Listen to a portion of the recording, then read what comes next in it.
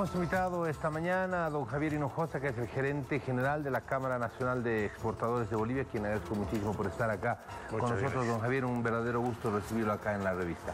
A ver, 13 eh, mil toneladas de carga llegaron a, a Hilo, 13 mil toneladas de carga de carga boliviana.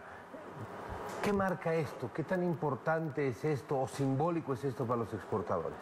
Bueno, ha sido una jornada simbólica importante, ¿no? El hilo es una buena alternativa eh, que tiene que ser desarrollada un poco más.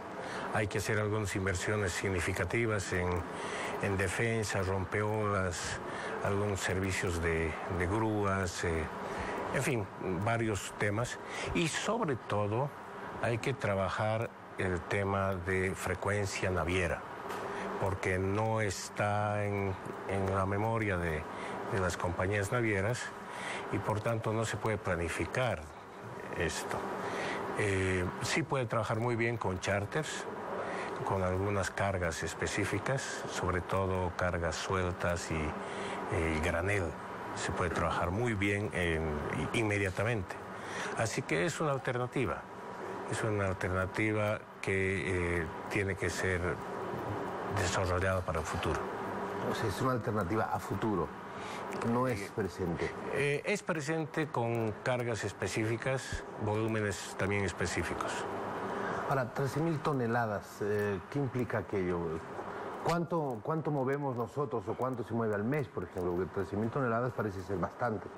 Bueno, casi 3 millones se mueven en, de toneladas, se mueven por, por Arica y Quique.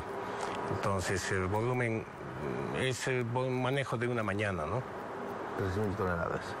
Ahora, ¿cuáles son las diferencias logísticas eh, de infraestructura, por ejemplo, entre un puerto consolidado como es el puerto de Arica y el puerto de Hilo, que, como usted dice, hay que verlo hacia futuro? Bueno, Arica es un puerto multipropósito. Ahí se puede manejar containers, se puede manejar granel, se puede manejar líquidos, em, carga peligrosa, etc. Eh, Hilo todavía tiene restricciones en ese sentido. Eh, esa, es, la principal diferencia. Y la segunda principal diferencia es que eh, Arica está en el itinerario de compañías navieras. Lo que usted decía es en la frecuencia naviera. Así es. Lo que sucede, a ver, el, el movimiento marítimo de Sudamérica representa el 8% del movimiento mundial solamente el 8%, incluyendo Brasil, Argentina, Colombia, Chile, etc. ¿no? es muy significativo. El, los, eh, el sistema que se maneja eh, son eh, naves que llegan a ciertos puertos principales que actúan como hubs, Canal de Panamá, Callao. Del Callao, por ejemplo, se distribuyen en barcos menores hacia puertos menores, como es Arica, Iquique, eh, Mejillones y otros que están, San Antonio, que están por, por ese lado hacia el sur, y también hacia arriba, hacia Ecuador. Eh, ese es el sistema que, eh, que, funciona. Entonces, cuando uno planifica una carga, esta carga va a venir en un barco muy grande hasta el Callao y allá se va a poner a otro barco más pequeño, que va a ser la redistribución. Ahora, al ser propietarios de la carga, nosotros podríamos, en la eventualidad, si se consolida lo de hilo, si en el futuro se, llega a consolidar hilo, decidir, elegir, pedir que la, carga boliviana eh, distribuida en el Callao sea exclusivamente puesta en hilo? Sí, sí, podríamos pedirla. Y la respuesta de las navieras podría ser, eh, muy bien, eso tiene un costo adicional o eso va a tener un costo en tiempo hasta esperar un, eh, acumular la carga suficiente para un barco pequeño, que también es una carga importante. Porque en cuestión de distancia estamos a la misma distancia.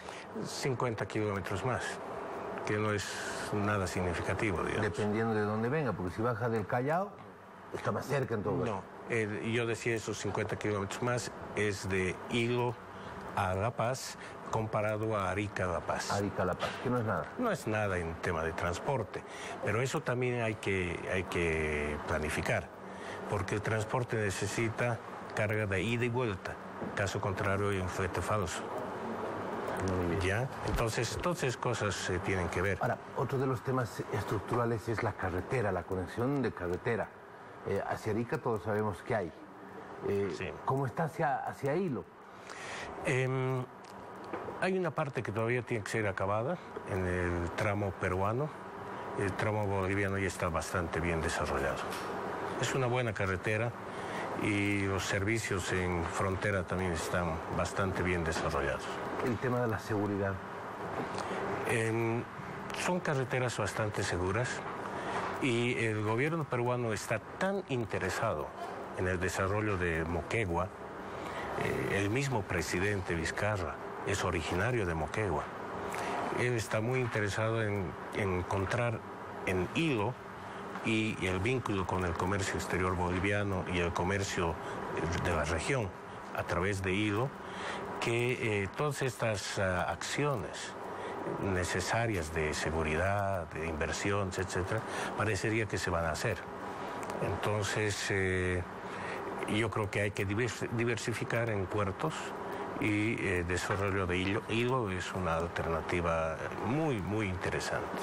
¿Cuánto va a costar aquello? aproximadamente? ¿En ah, qué tiempo? Se ha hablado de entre 400 a 700 millones de dólares, dependiendo de las cosas que se van a hacer. Solamente rompeolas entiendo que valen unos 250 millones de dólares. Son cifras mayores. Fuertes. Muy fuertes. Ah, incluso se, ha estado analizando si no con, la, con el corredor bioceánico tal vez habría que construir un puerto, un macropuerto eh, distinto, nuevo, diferente al que eh, ayer se ha usado para, eh, anteayer se usaba para esta descarga. Estos temas los, nosotros queremos analizar en un foro que como Cámara Nacional de Exportadores estamos desarrollando el próximo 6 de noviembre.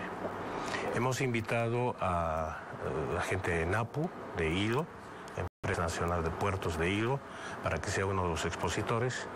También a, la empresa que administra el puerto en Iquique y a la que administra en eh, Arica. Y también al proyecto Hidrovía eh, Paraguay-Paraná, que nos presente las posibilidades que tenemos de desarrollo, las necesidades que también tenemos que invertir en eh, eh, en, Santa Cruz, en el puerto Bush. Y por último, hemos invitado al puerto público de Portobelo, que es una alternativa con mucho más futuro ah, para adelante, pero que es una alternativa muy interesante de acceso al Atlántico por vía del Amazonas, eh, Cobija, Riberalta, Portobelo, Portobelo, Manaus, Manaus, hacia, ah, hacia el Atlántico. Muy bien, muchísimas gracias, don Javier, por haber estado acá con nosotros. Un tema muy, muy interesante. Eh, de verdad que le vamos a estar eh, haciendo el seguimiento correspondiente. Va a ser un gusto. Por estar con nosotros. Seguimos y tenemos consejos.